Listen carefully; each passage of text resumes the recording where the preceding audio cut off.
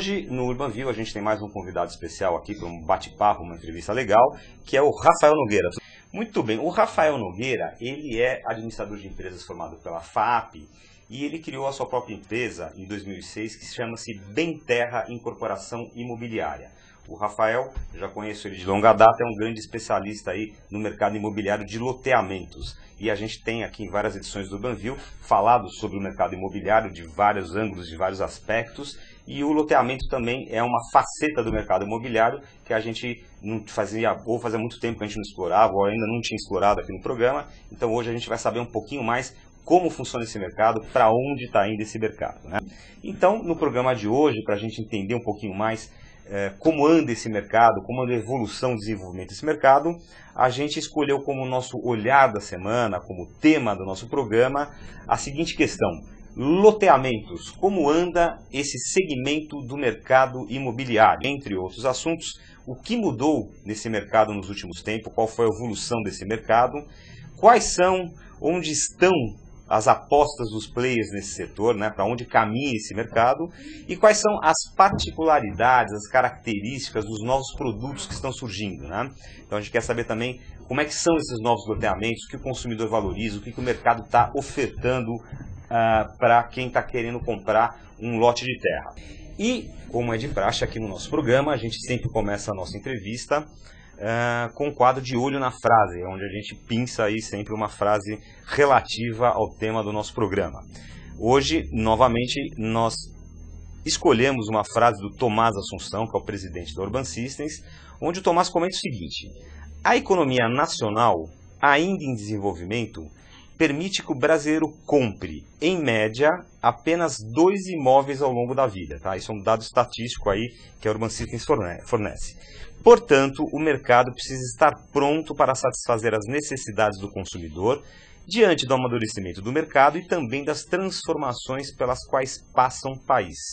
Então eu vou começar esse nosso nossa conversa aqui com Rafael Nogueira da Bem Terra Incorporação Imobiliária perguntando o seguinte: Rafael, a gente que conhece o mercado imobiliário, a gente sabe que, é, é, é pegando um pouco o gancho dessa frase do Tomás, antigamente o, o mercado de loteamento é o mercado mais básico do, do, do, do mercado imobiliário, né? Quer desde dizer, antes de. É desde que o mundo é mundo, né? Quer dizer, foi a primeira coisa que surgiu no mercado imobiliário, Sim. antes de apartamento, antes de casa em condomínio claro. fechado, antes de condomínio clube. A busca por terra sempre foi é, objeto de desejo do ser humano. Dessa, dessa origem do mercado de loteamento né, para hoje, o que, que você avalia que, que qual foi a, a grande modificação ou as maiores modificações que tem do mercado de loteamento antigo, onde se comprava essa terra, fracionava seu terreno e colocava-se à venda, para o mercado de loteamento hoje? O que mudou de uns tempos para cá é, é, é, que todas as empresas, incorporadoras e construtoras como uh, acredito eu que em todos os segmentos, eh, se profissionalizaram muito mais. Né? Uh, as empresas, as grandes construtoras abriram capital, hoje em dia existe um, um roteiro a ser seguido para cada um desses loteamentos, e, e, principalmente aqui no estado de São Paulo, estado do Rio, alguns estados uh, aqui do Brasil, essas construtoras elas estão entrando, e acho que um grande exemplo disso é Alphaville, né, que ficou uma marca. Hoje em dia você tem praticamente em todas as capitais uh, do Brasil. E, e existe um, um, roteiro a ser seguido. Então a concorrência para os pequenos e médios se tornou bem mais uh, acirrada. Né? Uh, isso no meu caso, quer dizer, a Benterra é uma empresa que existe desde 2006, que é no caso a minha empresa, e a gente foi buscar novos mercados em estados em desenvolvimento, como Mato Grosso, por exemplo. Você ah. acredita que Alphaville foi o primeiro é, grande exemplo de, de, de, modernização da questão da, da venda de lote? Ah, eu não sei se, se foi o primeiro, mas eu posso te dizer com toda certeza que é o mais famoso, é o grande case. Mas com relação à moradia, é, hoje, quer dizer, se você pegar as pessoas que compraram Alphaville, é, eu diria que 100% de todas elas possuem seus carros, Aliás, a... a família é assim, é pai tem carro, a mãe tem carro, a filha tem carro, o filho tem e carro. E todos né? saem do mesmo lugar. Lógico, quatro, cinco garagens, exatamente. Principalmente Alphaville, acho que é um grande exemplo disso. E, e, o mais curioso é que muitas vezes as quatro pessoas da casa saem do mesmo lugar para ir para a mesma região, cada um com carro. Né? É, essa questão do, da, da, da, do transporte público não ser de qualidade é um inimigo da expansão dos loteamentos para o subúrbio?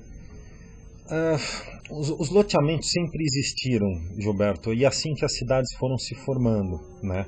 Uh, eu, uh, eu acredito que as, as restrições cada vez mais nas questões ambientais, em termos de urbanismo, com relação aos loteamentos, elas são extremamente necessárias para você crescer com qualidade, com planejamento o que muitas vezes prejudica o andamento e, e o crescimento de algumas cidades menores uh, é uh, justamente a, a burocracia e, e, os entraves que você tem que passar ao longo do, do, processo de aprovação. Eu queria que você me contasse um pouquinho dessa questão uh, legis, legislativa e essa burocracia. A, a, a lei é boa, mas a gente tem processos uh, mal feitos, ou seja, existe burocracia, falta de comunicação entre órgãos, ou além dessa burocracia e falta de comunicação entre órgãos, você acredita que a legislação ainda não é uh, suficientemente boa? Eu, eu acredito que o problema, se o Ministério Público vem a embargar determinado empreendimento, é porque alguma irregularidade acabou passando. Né? É, não saberia dizer que tipo de irregularidade, mas quando Sim, cada existe, caso é um caso. Cada caso é um caso. Mas uh, se existe um embargo por conta de Ministério Público, é porque uh, o empreendimento não foi devidamente aprovado em todas as instâncias, em todos os processos.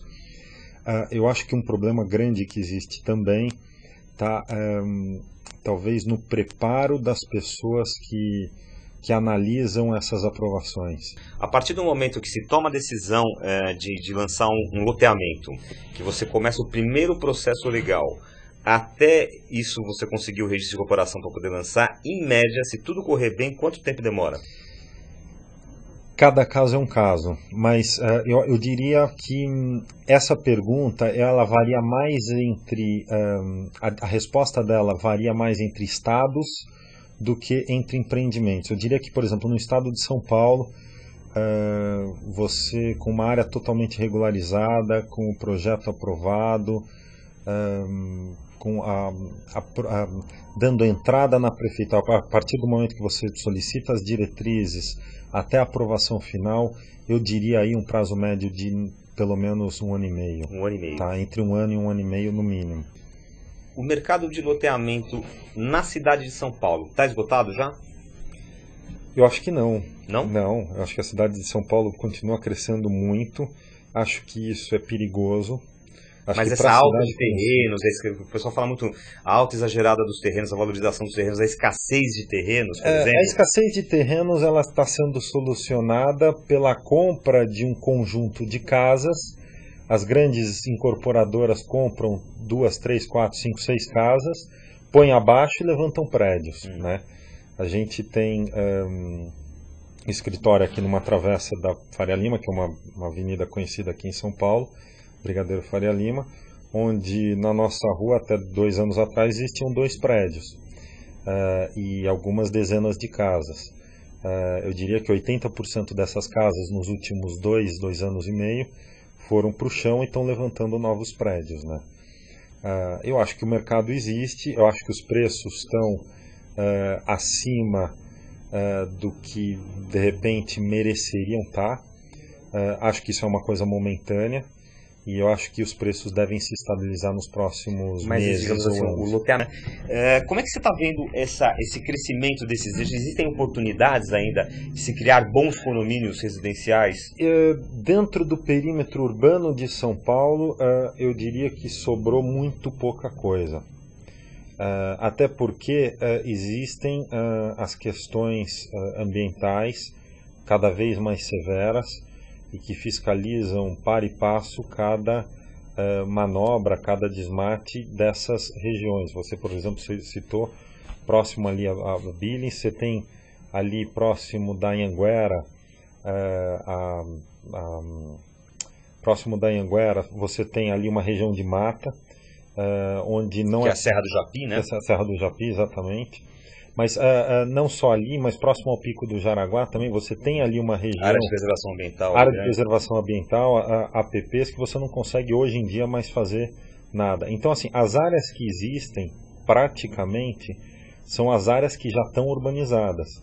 O que deve acontecer com a medida do tempo, e já está acontecendo, é a transformação de algumas zonas residenciais de casas se transformarem em zonas de prédios, devido ao zoneamento permitir isso. É, eu percebi, mas uma visão minha, uma ótica minha, que empresas como a sua, empresas que fazem loteamentos, dada essa ausência de terrenos em São Paulo, dadas essas dificuldades de expandir na Grande São Paulo, de fazer novas alfaviles, digamos assim, os condomínios residenciais ou loteamentos de, de, de, de seja de, de, de, alto nível, de nível médio, etc e tal.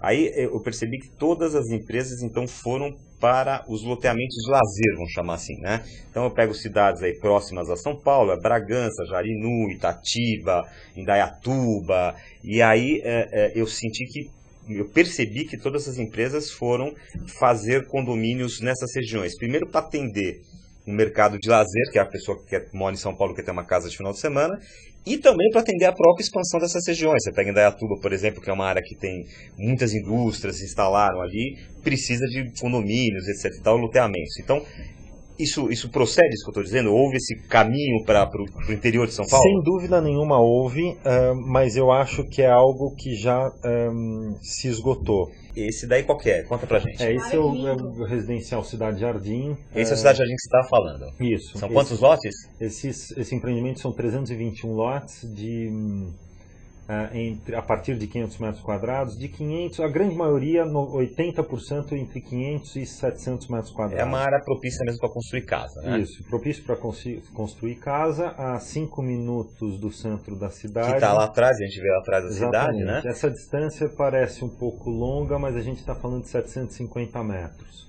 Que isso é, daí é. Isso, é, essa é, uma, é um centro comercial que a gente. Que está tá inserido junto ao empreendimento. Que está junto ao empreendimento, porém na, do lado de fora, que ele abastece não só o empreendimento, mas também quem está andando pela região da cidade. E ali nesse centro comercial você tem o quê? Padaria, supermercadinho? É, a gente está desenvolvendo o projeto desse centro comercial. A, gente, a construção desse centro comercial não começou ainda. A gente está hoje entrega o asfalto completo no mês de novembro com toda a rede d'água, um, rede de drenagem, uh, esgoto e rede elétrica. E a ideia é a gente construir isso e locar, jamais vender, até porque você di direciona a vocação e o uso desse tipo de. Sim, o pessoal do loteamento está precisando, estamos precisando de uma lavanderia aqui, não tem? Você pode direcionar, ofertar essa alocação de espaço para lavanderia. Existem alguns tipos de comércio que já são praxe, Sim. né? Então, desde uma loja de conveniência, uma farmácia, isso é uma coisa que todo mundo precisa, uma padaria.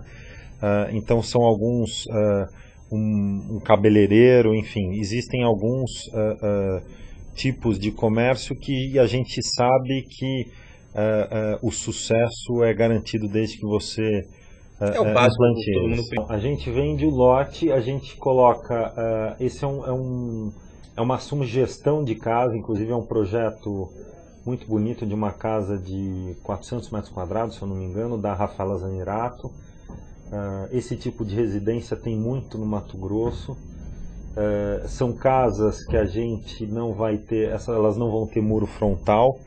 Elas na frente das casas elas têm um gramado e os gramados entre uma casa e outra eles meio que se encontram. Muito bem, até lá então um grande abraço para vocês.